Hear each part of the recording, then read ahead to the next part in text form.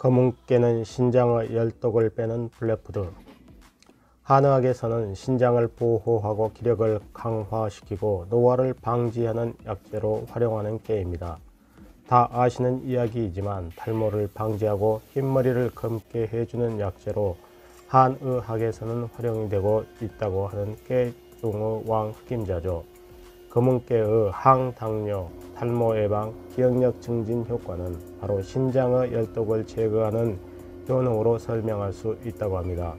또 검은깨는 전체 지방 중 80% 이상이 불포화 지방산이랍니다.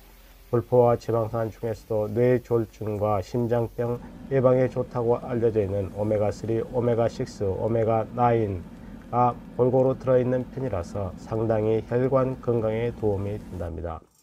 비타민 E나 인지질이라는 성분도 풍부해서 피부 건조와 가려움에도 효과적이라고 합니다.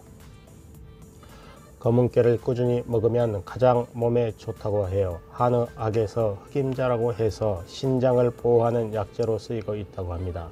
한의학에서 흑임자는 신장 보호, 기력, 광화, 노화 방지, 탈모 방지, 흰 머리를 검게 하는 약재로 활용합니다.